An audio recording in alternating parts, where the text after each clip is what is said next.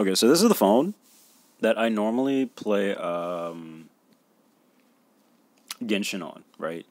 So Genshin being an explorative game, um, there are some issues slash annoyances for the most part. They're minor, like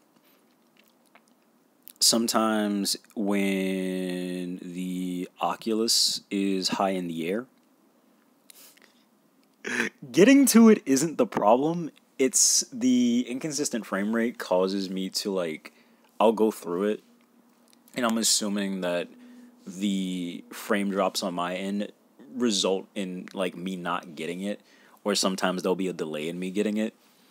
And then like this is really really fucking slow. Actually one thing about this phone i don't really understand why but it downloads really really slowly. Like genshin and star rail are about the same size now. Um when i compare the size here on this android phone to my uh, ios and for some reason for some reason it took like three times as long